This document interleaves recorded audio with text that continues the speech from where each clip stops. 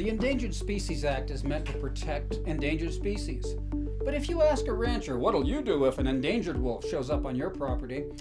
It turns out the answer is often, uh, I'd shoot, shovel, and shut up. You ask why? Well, a wolf will cost a rancher valuable livestock, and when livestock is your livelihood, you do what you have to do to protect yourself. Now, it's not legal to shoot the wolf, which is why the rancher will bury it and shut up about it. Now, this is truly perverse. A law that supposedly protects an endangered animal actually encourages people to kill it. A perverse incentive is one that encourages people to act in a way that's different than we would want them to act. They show up all over the place and often come about because lawmakers don't know or recognize the incentives they are creating when they pass a law. When the Endangered Species Act was passed, legislators focused on what they perceived to be a moral imperative. Let's protect endangered species. I doubt that legislators analyzed the negative incentives the act created for property owners who find an endangered species on their land. And it turns out that many property owners today preemptively destroy habitats that would attract certain endangered species. Because if they get the endangered species, government officials will impose land use restrictions, fees, or steep fines. Now compare the incentives created by the Endangered Species Act to those created by a private organization, Ducks Unlimited. The people who give money to Ducks Unlimited do so because they love ducks